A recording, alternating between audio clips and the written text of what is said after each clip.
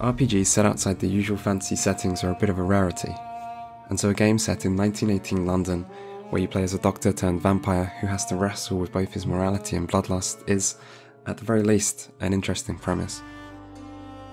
Dontnod Entertainment's Vampyr definitely succeeds at nailing some parts of the quintessential vampire experience, but it also has a lot of problems. It can best be summarised as enjoyable but inconsistent. It's a game full of ambition, dripping in style and with a fantastic atmosphere, but it also has a lot of obvious issues that hold it back. It's a game with lots of great ideas, but those same ideas often have very mixed execution. It's a game worth your time, but maybe not worth your money, at least at the current price. It's a game that's sometimes easy to love and sometimes easy to hate. I want to explain exactly what this game does and doesn't get right, but before that, there is one question that I think needs addressing. It's been many years since Vampire the Masquerade Bloodlines whet the appetites of vampire and RPG fans alike, and the years of hoping and waiting for some kind of sequel or successor can't have been an easy thing for fans to endure. So when a new vampire focused RPG was announced, it's understandable that a lot of hungry Bloodlines fans set their sights and hopes on Vampyr as maybe being what they've spent years hoping for. And that gave Vampyr some pretty big shoes to fill. Perhaps from that point onwards, disappointment was inevitable, and maybe Dontnod didn't do enough to dispel comparisons, and so the rumour of a spiritual successor to Bloodlines finally being on the way persisted, and here we are. The answer to the question that so many people have asked and continue to ask is this game like Bloodlines is no, it's nothing like it. If that's disappointing, then I'm sorry, and I understand why you may feel that way. Bloodlines may have deserved a sequel. World of Darkness may have been underrepresented in video games, and the selection of vampire games in general may have been pretty poor. But if you expected Vampyr to be similar to Bloodlines, you probably should have known better. And if you bought the game on that basis and were then disappointed, you really only have yourself to blame. The developers never said it was going to be like Bloodlines. Game footage didn't look or sound like it would be. The setting and tone are so obviously not alike. There are no connections to World of Darkness lore, and I could go on. The similarity is that they're vampire focused RPGs, and that's about it. But I guess that alone was enough to lead to comparisons, and I suppose it shouldn't be that surprising as, for some reason, there haven't been any other vampire RPGs.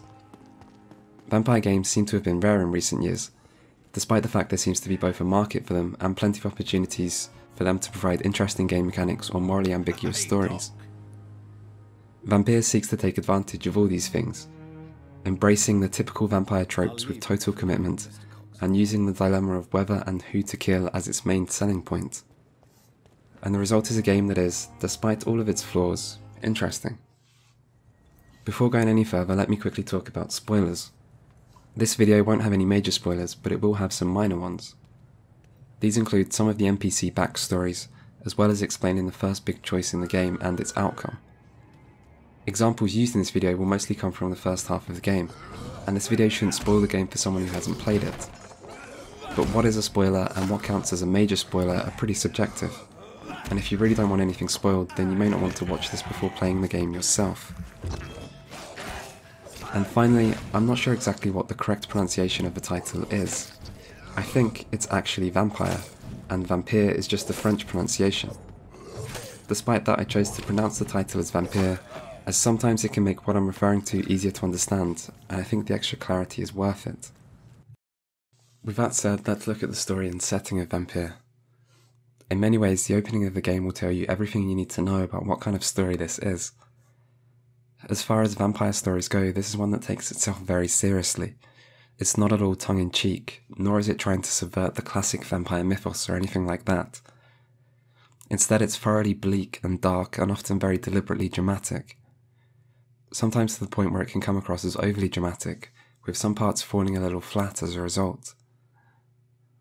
At times it can even feel a bit ridiculous, but there's still something endearing about how serious the game takes itself, and it often succeeds at being entertaining even if occasionally it's for the wrong reasons.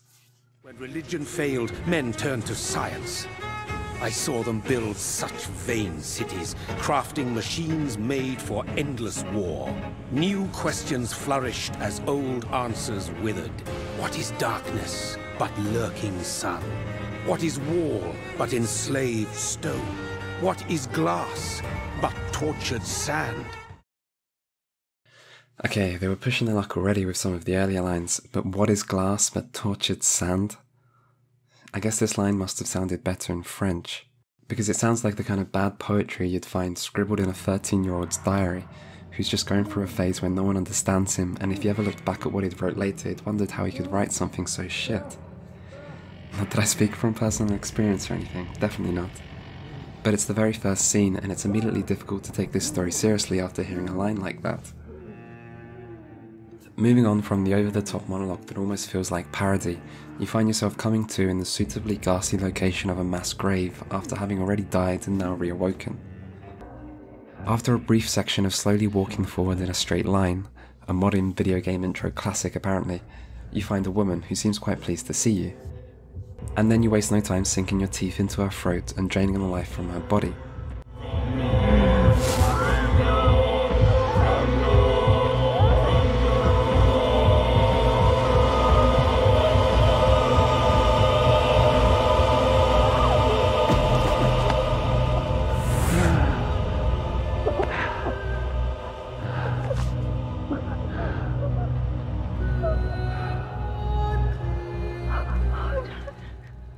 As colour returns to the world and our protagonist regains his mental function and you realise this innocent woman is, of course, your sister. Oops. No time to mourn though as you're then shot at and chased through the street by a group of armed assailants. This is a nightmare. Not quite, but there is a tutorial section ahead, so I guess that observation isn't far off. Hey, I'm sure I've confused the two before on occasion too. Stay back.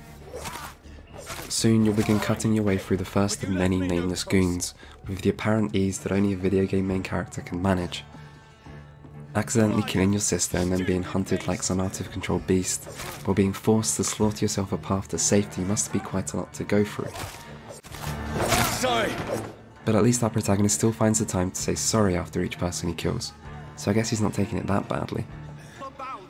After a brief run in with some pesky sunlight, you find a place to hole up that conveniently has a gun. Cue an obligatory war flashback as you pick it up. And then, I guess our protagonist isn't taking it all so well, as he lies back on the bed, points the gun at his heart, and then the game waits for you to pull the trigger.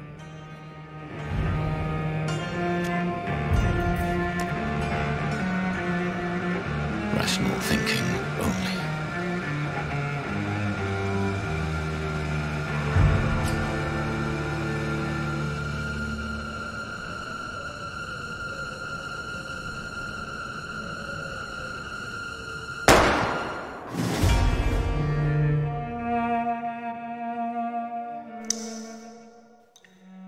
And as the drops of blood transition to the title screen, you have to admit, it's an entertaining opening. Yes, the writing can be hammy. Yes, everything can feel a little cliche and a little too dramatic. But it's an enjoyable introduction to a vampire story that all happens pretty quickly. This is a story where if you stop and think about it, you can easily find flaws. But if you just sit back and enjoy the ride, this is a fun vampire tale that, despite being over the top, kind of gets away with it in most occasions, and it does so for a few reasons. Firstly, there's the soundtrack. The entire soundtrack is great in Vampyr, with a lot of very atmospheric pieces that really give the game a dark and gothic feeling. But it's the way the game uses music to add to and complement the drama that's most impressive. It uses these heavy cello pieces as well as some great choir sections, and the result can be fantastic. Every time something dramatic is happening on screen, the soundtrack is there to absolutely carry the scene, which makes it very easy to ignore any problems in the writing or story. Slowly, vampire. Who are you? I mean you no harm. Saith the vampire. Present yourself. I. I need a word.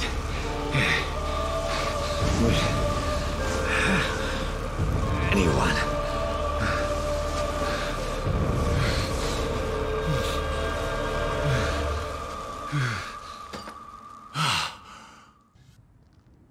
Vampyr really does do a great job when it comes to atmosphere, even if it isn't the most graphically impressive game of the year. London feels gloomy and authentic, and the inside of abandoned buildings can be very detailed and ominous. The morgue is a good example of showing this early in the game. It's surprisingly creepy on your first trip through. Some story moments are very nicely directed, and the effect, when combined with the soundtrack, is great. Vampyr may lack in technical prowess and visual polish, but it sure has style. Dr. Swansea is The voice acting is also great. For how many voiced NPCs there are in the game, the level of quality for voice acting in general is really high. The real standout performance is our main character, the doctor turned vampire Jonathan Reed. It helps his voice actor just has a very easy to listen to voice that is pleasing to the ears even after hours of dialogue. Good evening, miss. I'm Dr. Reed, the new surgeon at the Pembroke Hospital. And who are you? I wish this guy would read me bedtime stories each night. Even when the writing can be a bit weak, his performance remains strong and it helps keep the story convincing. And Jonathan is a likable main character. It's worth clarifying that this is a predefined character. You have some choice in dialogue, which I'll talk more about later. But you don't choose Jonathan's personality at all. He is his own character and he's always written in a certain way. And for some RPG fans, this may be off putting and diminish the role playing aspect of the game. Still, he's an enjoyable protagonist, and he doesn't feel like your usual video game or action movie hero. I don't think he ever makes any quips or out of place sarcastic remarks. Nor does he have that always present nonchalance in the face of danger attitude. Instead, he's written as an upstanding early 20th century gentleman who is always well mannered and sincere. Despite this, he doesn't come across as a pushover. He'll confidently stand up for his beliefs or scold others for wrongdoings. And he never lets himself get talked down to, giving his character strength and making him easy to respect. It all works thanks to the good casting for the voice actor and the fact his character is so consistently earnest about everything. I can't believe I'm doing this.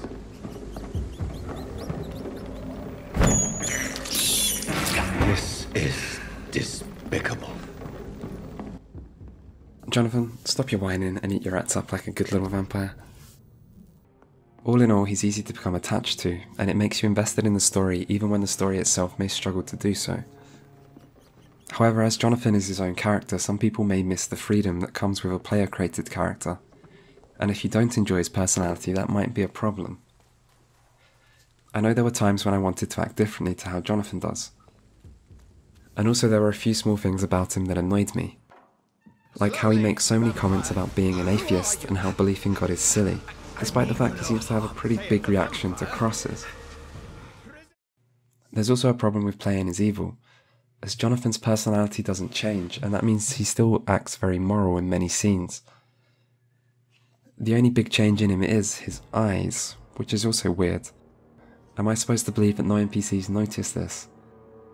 It's one thing when they were just extremely bloodshot, but by this point, come on, how can no one comment on them?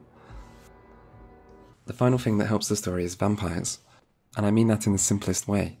Vampires are fun. As there haven't been many recent vampire games, it makes a good vampire story easy to enjoy. Things that should be cliche, like the existence of an exclusive vampire club that secretly runs the country, instead become enjoyable tropes. What's more, Vampyr isn't a modern take on vampires, like certain other examples of recent years. Instead, it has that classic gothic horror feel, and that's something which is great to be able to play through. It's always seemed strange to me that there aren't more games where you play as a vampire, and maybe standards have just become low, but on some level, Vampyr's overly serious and reasonably authentic vampire story just feels satisfying.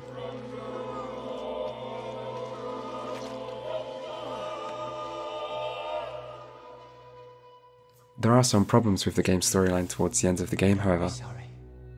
It gets a little convoluted, and it also feels like there are too many long explanations for plot points. During the epilogue, you find a reasonably lengthy book to read that provides backstory, just before talking to one NPC who basically repeats the book's contents along with some other things you already know, just worded differently. And then you speak to another NPC who repeats many things for a third time. The game could have said just as much with fewer words, while reducing the amount of boring exposition dumps the player has to listen to. I also think the game reveals too much of its mythology, and it's a mythology that isn't particularly interesting. More mystery could have been better.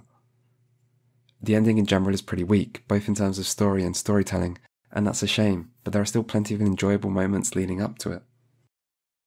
Alongside the main story, Vampyr features 64 unique NPCs. Speaking to these NPCs and uncovering their stories will take up a big part of the 25 hours or so you'll spend on a single playthrough of the game. As far as the NPCs go, they're okay. You'll find some who are interesting and likable, some who are successfully unlikable, and some who are realistically boring. Some of the things you find out can be surprising. Some characters that may seem like assholes can become more sympathetic. Some characters have some pretty dark secrets. And some of those boring characters might end up at least a little less boring. Vampyr doesn't do a bad job at fleshing out these NPCs, but these characters don't just exist for the sake of telling their stories. They're in the game to provide choice. Choice is Vampyr's greatest strength and biggest failure.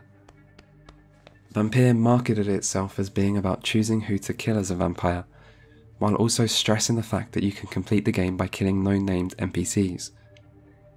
However, taking the lives of others is your main way of accumulating XP, and so this choice is tied heavily to the difficulty of the game, with taking no lives intended to be challenging.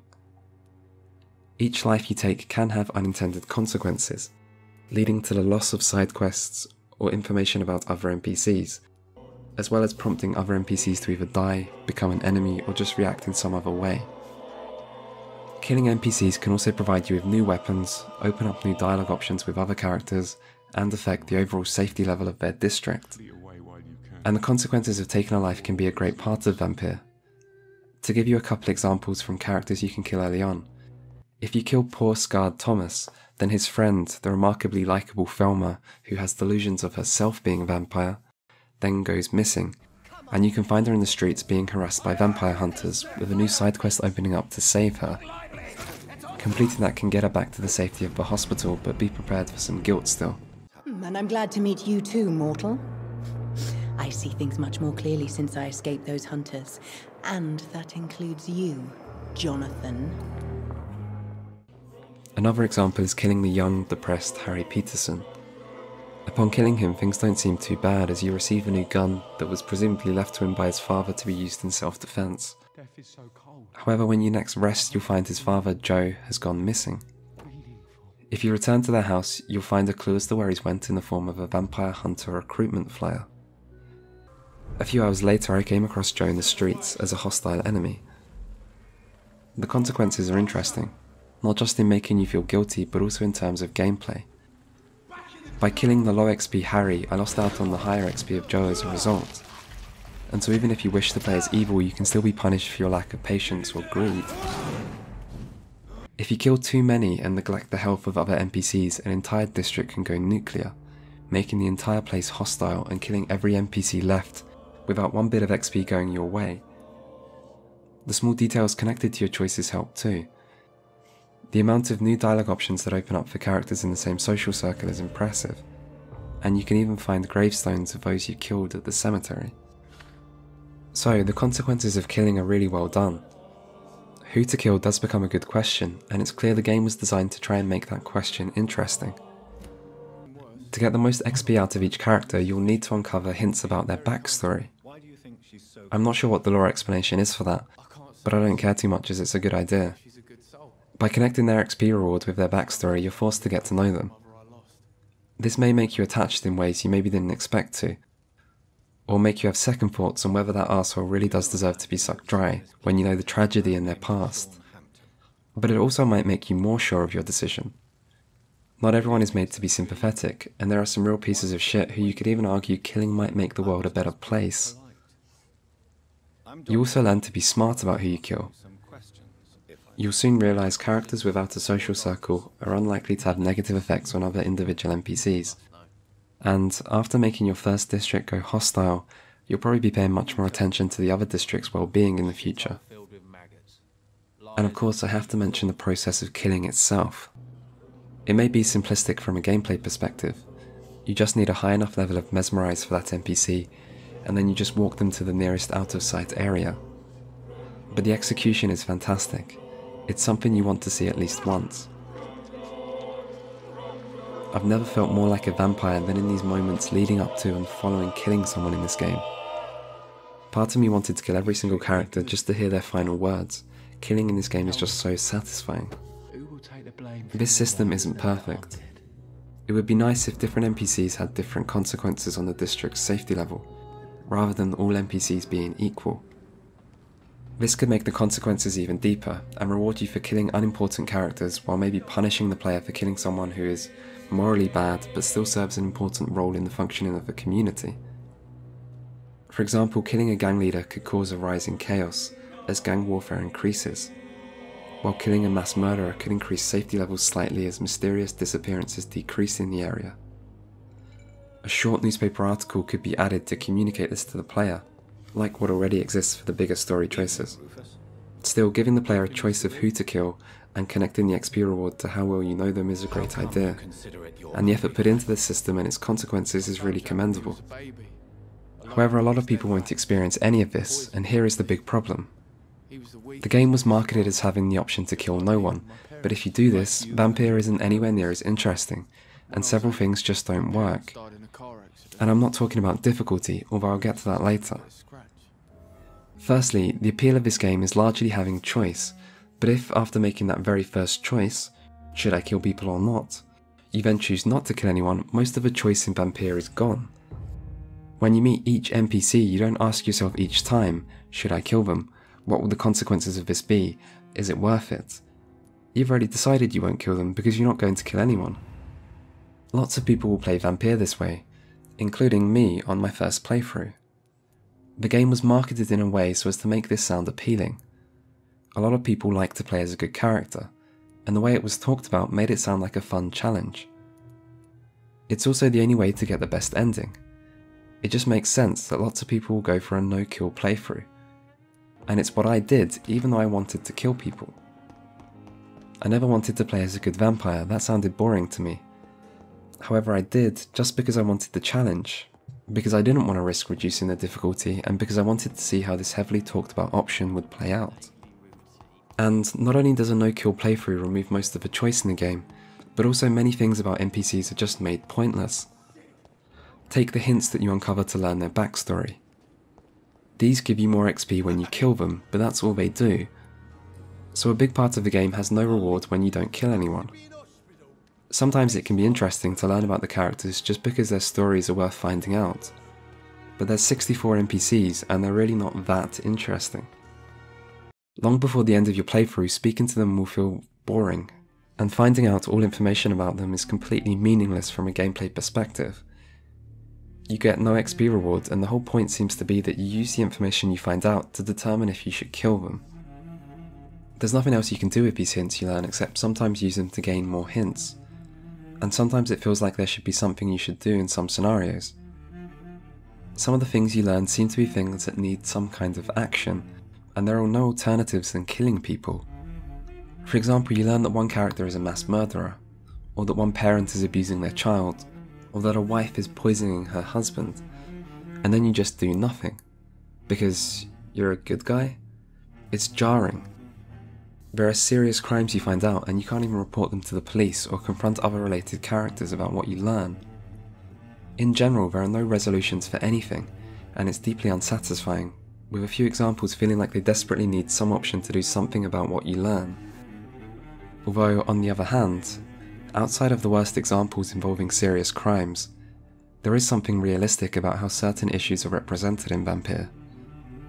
Video games can often trivialize serious problems in the way they allow the protagonist to meet people and almost instantly solve their deep personal issues through one shallow side quest or a few encouraging words in a conversation. The truth is, things like PTSD, depression, or child abuse aren't easy things to solve, and the way a game may allow you to fix them so casually can be completely unrealistic and maybe even slightly irresponsible. Representation in video games is a term thrown around a lot, sometimes about some pretty trivial things. But I think representation of mental health problems is important, and there is a side to it not always considered. Often, focus on representation is on the need for greater representation through more inclusion of certain things or topics, but realism is also important. Reducing complex mental health problems to just being easily solvable side quests may not always be helpful so in some ways I think it's a good thing Vampyr doesn't do this and doesn't allow you to solve every character's problems. However, certain examples call for action without giving you any non lethal way to act, which is a problem. And learning about characters just for the sake of learning about them is nowhere near enough of a reason when it comes to this many characters. There has to be some kind of point to it or reward, beyond maybe increasing Jonathan's capacity for small talk as he makes his rounds or something. So, not killing NPCs removes most elements of choice from the game, provides no resolution to important things you learn, and makes the system of gaining hints pointless from a gameplay perspective. Vampyr is simply not as good when you don't kill people. And that leads you to wondering why it was designed this way. If they knew they wanted to make not killing NPCs viable, and then advertised it heavily, why didn't they make that fun and satisfying? Perhaps the game would have been better if it was designed to force you to kill. It's a big part of the vampire experience, and there is something boring about the concept of a vampire who never kills anyway. Why didn't they just embrace the notion that vampires are inherently evil creatures, and make the moral dilemma not be about whether you're a good or evil vampire, but instead focus more on that middle ground? As a vampire, you have to kill to survive, but it's up to you whether you resist that temptation as much as possible, while only carefully killing the deserving for your own sustenance, or give in to your dark side and kill for power or pleasure. The concept of a pacifist playthrough doesn't work very well anyway, as the game forces you to kill vampire hunters by the hundreds, and, while killing in self defense is different, I suppose, vampire hunters still aren't evil. I mean, most vampires clearly need hunting, so the whole idea of being a pacifist vampire is diminished by the gameplay that has you killing people and sucking their blood, regardless of whether you also do or don't kill named NPCs. As far as choice and consequences outside of killing NPCs, it mostly comes down to four big story choices that each correspond to the fate of one NPC who is labelled as a pillar of the community. The first of these choices is executed very poorly. I'm going to spoil what happens, but it's quite an early event in the game, and you may even be grateful to have it spoiled because the result can be pretty bullshit. So, in the questline, you're investigating who is blackmailing Lady Ashbury, a vampire and benefactor of the hospital. This leads to discovering how one nurse, Dorothy Crane, is responsible for the blackmailing, but is doing so in an attempt to help the poor rundown district of Whitechapel. After you've confronted her about this, you're given a choice that you can see now. If you choose to charm her, she'll die after you leave, which you might find pretty surprising. No explanation is given for why this kills her unless you return and ask other NPCs, where one will tell you that after you left, apparently you made her brain damaged, and I guess that must have made her easy prey for some vampire or something. The problem is, there's no reason to know this could happen. Blue text indicates that Jonathan uses his mind persuasion power, and there is one document you can find earlier in Dr. Swansea's office that talks of the dangers of mind controlling people. But this is something you do non stop in the game. Literally, every time you talk about an uncovered hint, or when you want to give someone medicine, you use your mind control power to influence them, as shown through the same blue text. You can't even give medicine to someone without doing this. There's no reason to make the connection that this could be a negative thing. This choice with Dorothy Crane is also a dialogue option that you only unlock for uncovering all hints about her, furthering the implication that this is a good option. And the actual good option is worded in quite a negative way. It says force her to resign, but I didn't want to force her to resign, Surely we need all the nurses we can get right now with the epidemic. So the option to charm her and make her forget about the blackmailing seems to be the best option. Instead, it's the worst option, as you don't even get any XP from her. You can return later to find her as a hostile Skal, which is like a lesser vampire, but you don't get anything from it. And by the way, that fight is pretty bullshit. I did the entire thing without being hit once, and then when she dies, she erupts into a cloud of poisonous gas that I hadn't seen before at that point, and which was unavoidable without knowing about it beforehand, and it drained my entire health.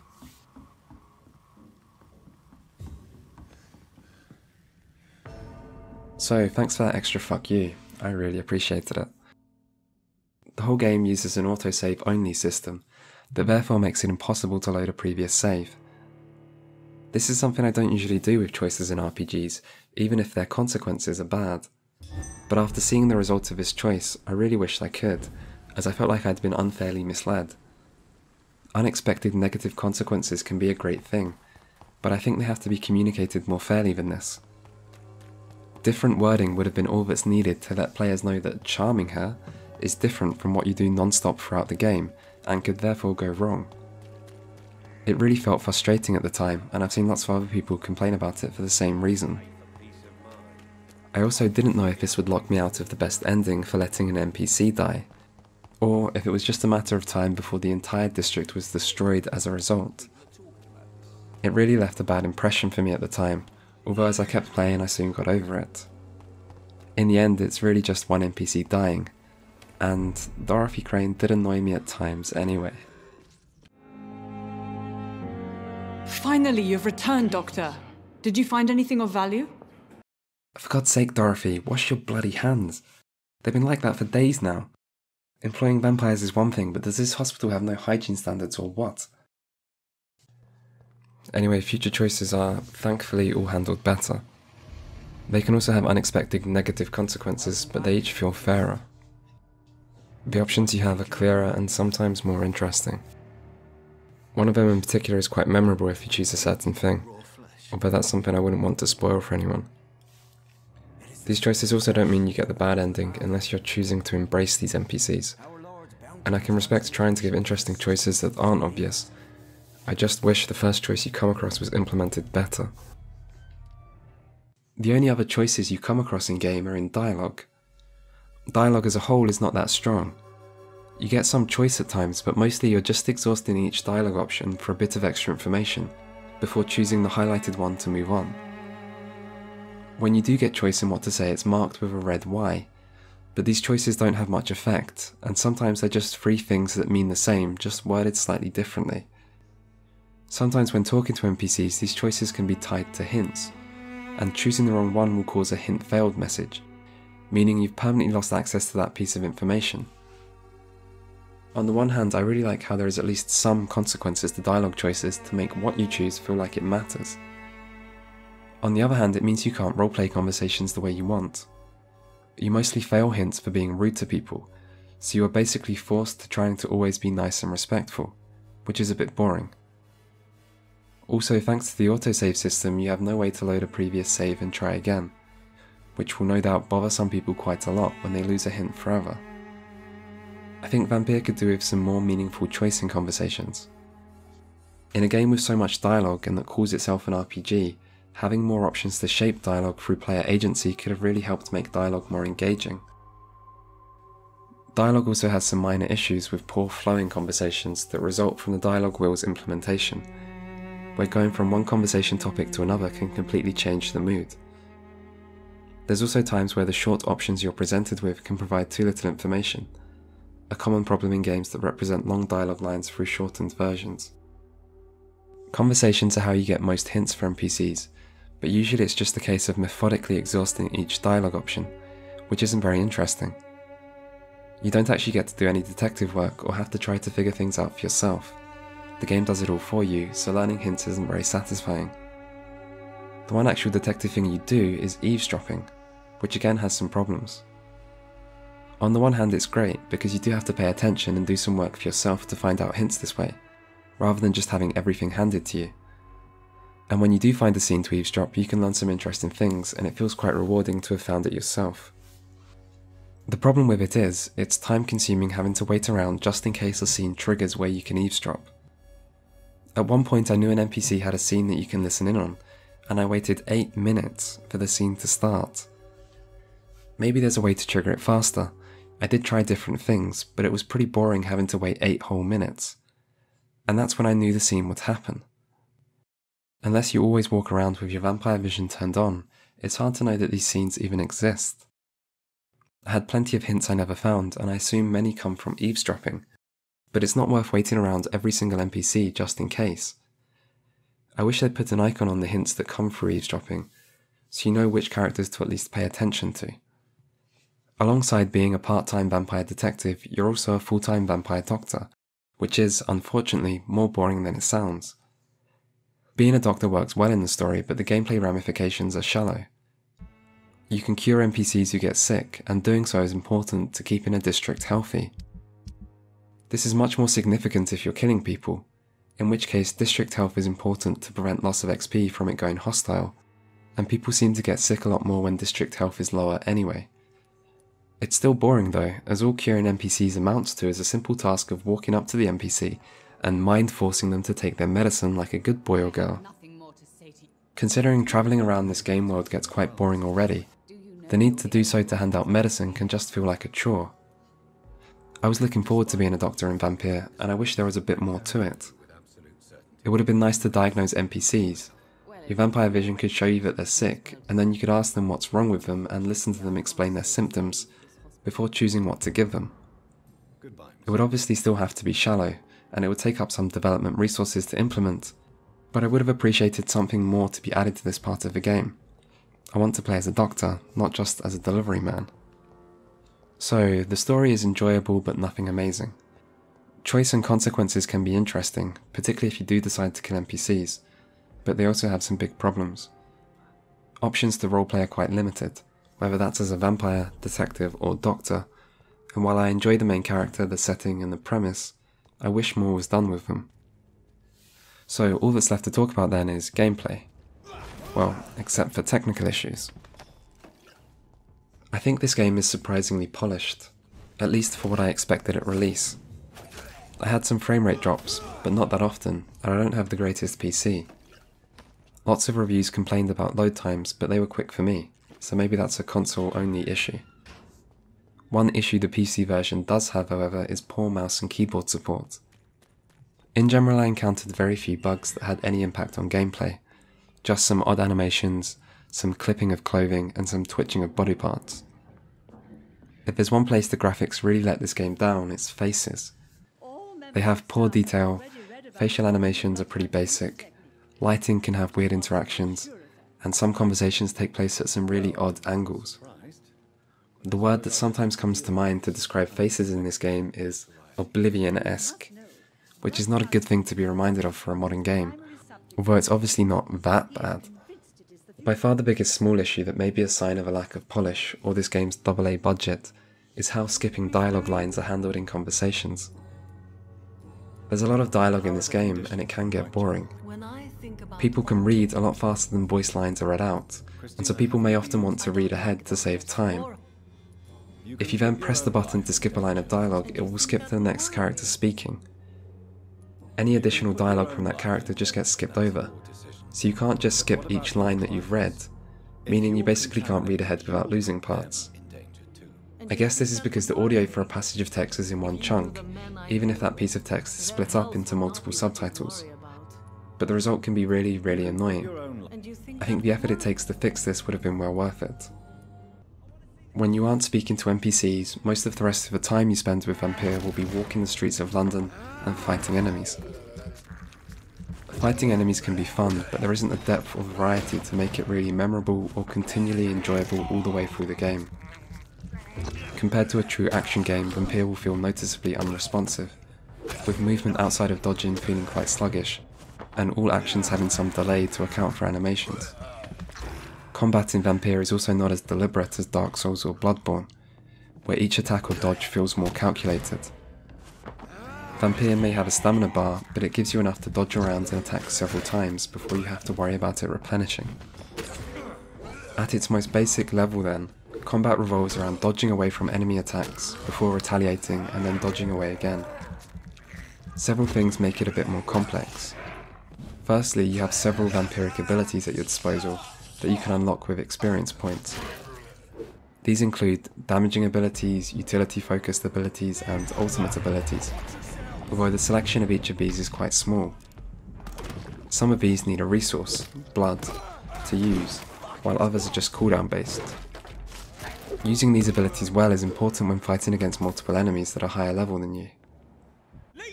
You'll also notice enemies have a grey bar underneath their health that can be depleted with certain weapons attacks to cause enemies to be stunned, enabling you to perform a bite attack, which is your primary way of gaining the blood needed to use offensive abilities. Stunning and then biting your enemies is incredibly effective early in the game, particularly if you use the two-handed club that allows good damage as well.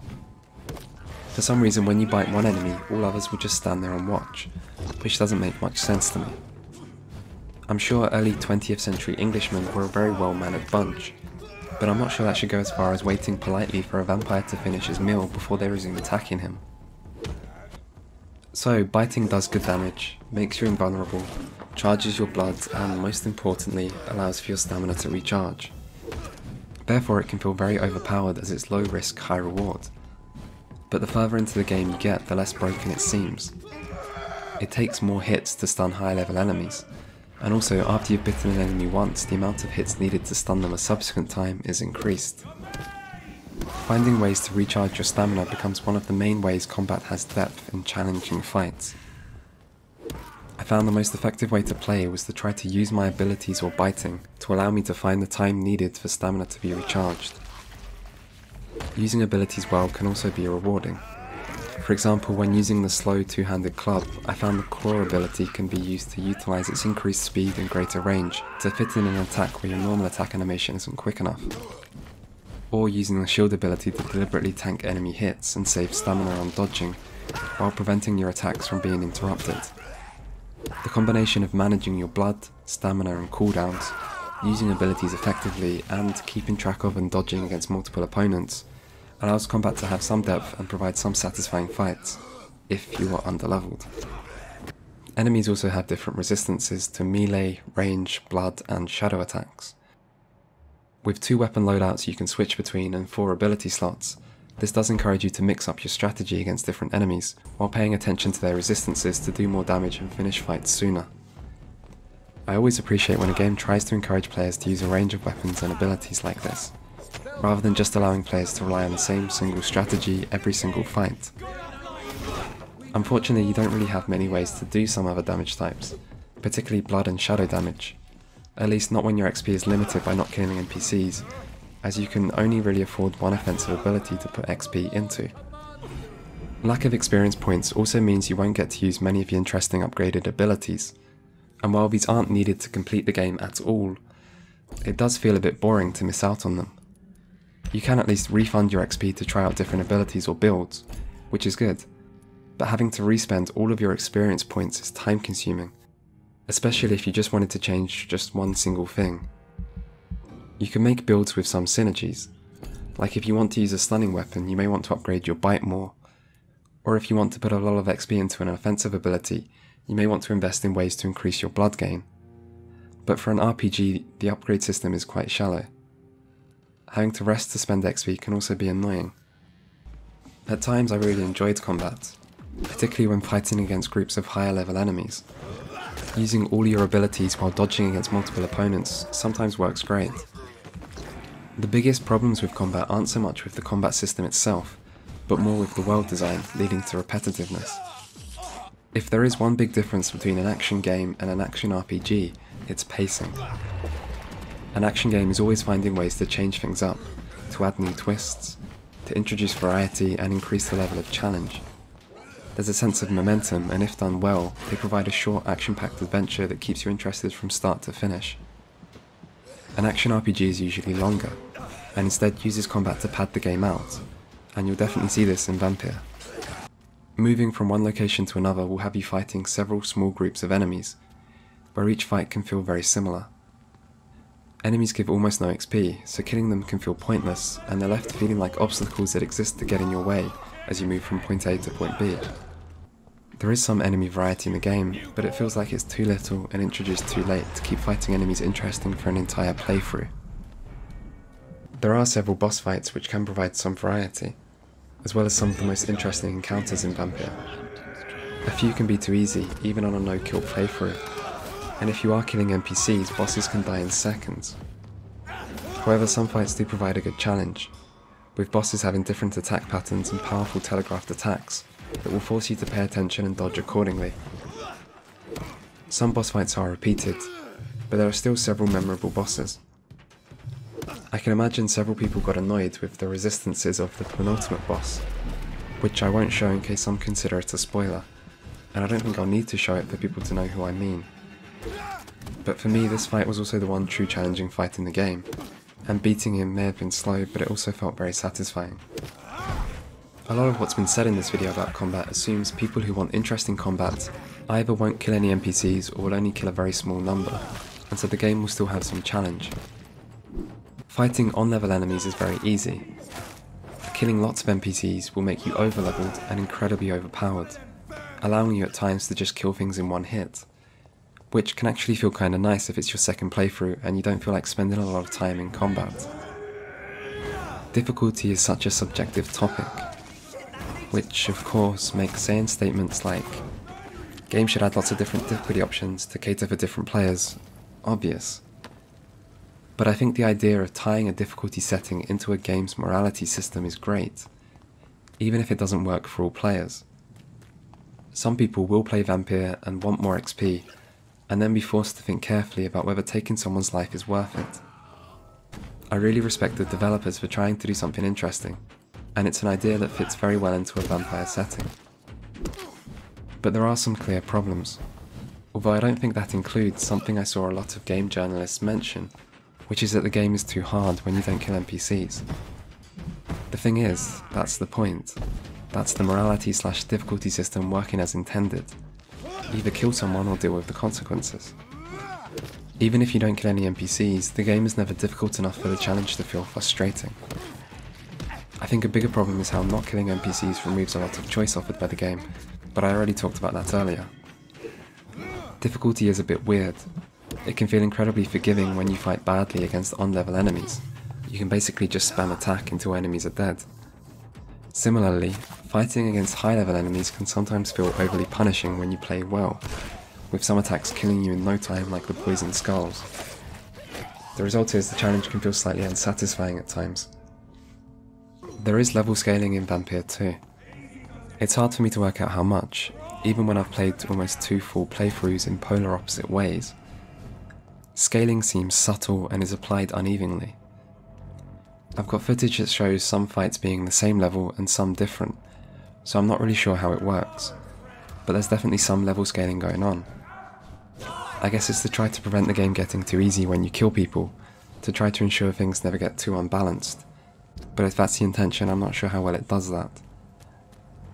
Anyway, the difficulty system may not work so well, but I still love the idea. It's how it limits choice, and how Vampyr doesn't feel as interesting when you don't kill NPCs that's the system's real problem. There are some gameplay problems outside of combat though. I like open world games, even now when they seem to be becoming more common and more generic. Part of me is still a fan of the concept for the added immersion they bring. However, if you want to make an open world game, you need to make travelling around that world fun. Travelling around London may be visually interesting, but from a gameplay perspective, it isn't, it's a chore.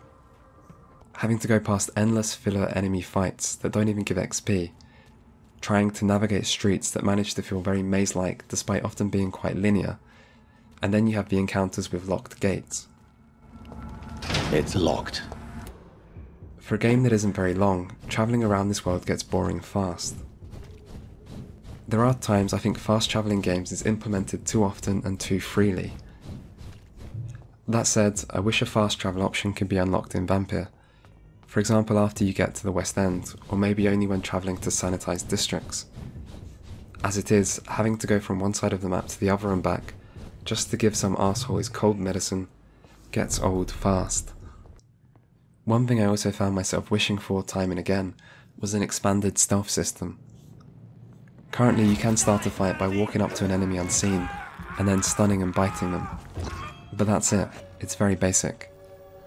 There's no way to take out enemies from stealth one by one, and almost no ways to use the environment or your vampire powers to sneak up on people. You mostly just have to rely on them facing the other way. Allowing more stealth options would have several benefits. It would allow you to travel around the world while avoiding combat, something you might want to do and that could also help prevent combat becoming repetitive. It would also allow you to kill less vampire hunters, which would make playing as a pacifist vampire make more sense. It also feels like a big part of being a vampire is having the ability to kill from the shadows and elude your hunters. Not having that option feels bad. So many times I longed for a way to sneak past enemies or pick them off one by one, it just felt like something Vampyr needed. At times I would stand above enemies on a platform, and I guess other games have conditioned me to expect the way through some aerial kill, but having to just jump clumsily down and start fighting normally felt really disappointing. The world almost looks like it should support more stealth options. There is visually a lot of verticality to the streets of London, but only sometimes are you allowed to shadow jump above street level. Having the ability to lure vampire enemies into vampire hunters would have also been great. Sometimes you'll come across them fighting each other, and sometimes you can lure them into fighting, kinda, but it doesn't work well. And a way to get groups of enemies to fight each other from stealth would have been a good feature. So, of all gameplay additions, an improved stealth system is what I think would most improve the game, and I hope they do try to expand it if there's ever a sequel. The final part of Vampyr's gameplay I've yet to mention is loot. Like other open world games, everywhere you explore you'll find some basic items to pick up. Enemies also drop loot, and seeing as they give so little XP, I guess that this is meant to be the main reward for killing them. Most of what you find is used for a basic upgrade system, but it is just that, basic. There are also shops, although I only ever found a few items in them that were actually useful for upgrades I needed and so there's almost never anything worth buying.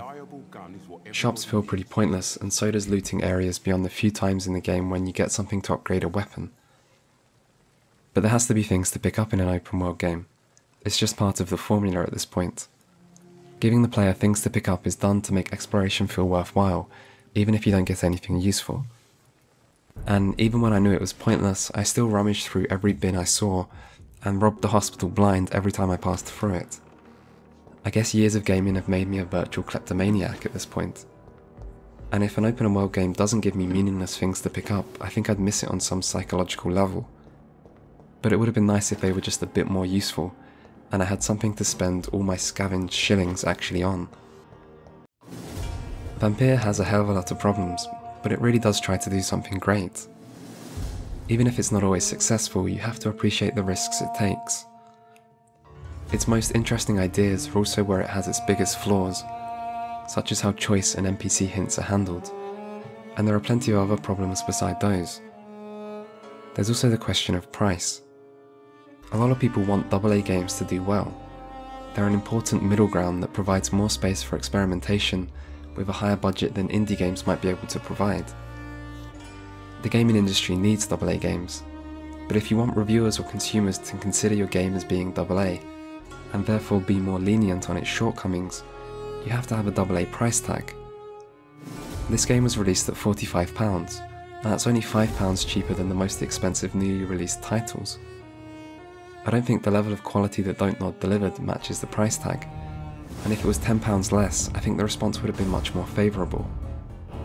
I don't know how that would have affected sales and profits, but people do have certain expectations at certain price tags that Vampyr may not always satisfy but I don't regret any of the time I spent with Vampyr. A good vampire game is something special, and this game gets the feeling of being a vampire spot on quite often. And there are plenty of enjoyable moments to be had. And while I could have spent even longer going over the flaws in Vampyr, because it's undeniable this game has many obvious flaws, I can't say I didn't have fun with the game. And you know, if there's one thing professional reviews can sometimes undervalue, in their attempt to provide an objective numerical indication of quality. It's fun. This is a fun vampire RPG, and I think for a lot of people, that's enough. Fucker claimed he'd fallen in love with me. Really? Did you consider accepting his proposal? Well, immortality. Not a common wedding gift, is it? I think he just wanted to have his way with me. Can vampires even fuck, Doctor? What? Um, well, I, I, I, I really can't answer that. I, well, since they are creatures of blood, um, physically speaking, I suppose an erection is possible, but I... Hmm.